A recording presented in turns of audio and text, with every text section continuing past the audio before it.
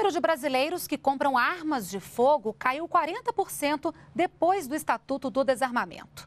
É o que aponta um estudo divulgado hoje pelo Instituto de Pesquisa Econômica Aplicada, o IPEA.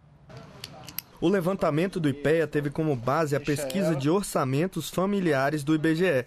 Segundo o estudo, o número de armas compradas pelos brasileiros a cada ano caiu de 57 mil em 2003 para 37 mil em 2009.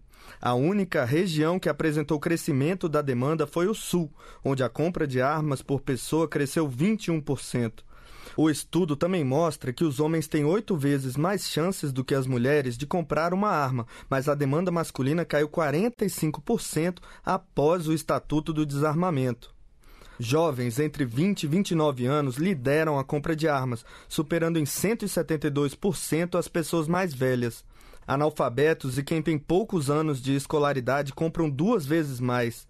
E a proporção de compradores de armas no campo é quase 400% maior do que nas metrópoles. Nós estamos cada vez mais conscientizando a população de que ele deve exigir do Estado que os agentes de segurança sejam capacitados para sua proteção e não ele ter uma arma para sua proteção. A entrega da arma significa a entrega da cultura da violência.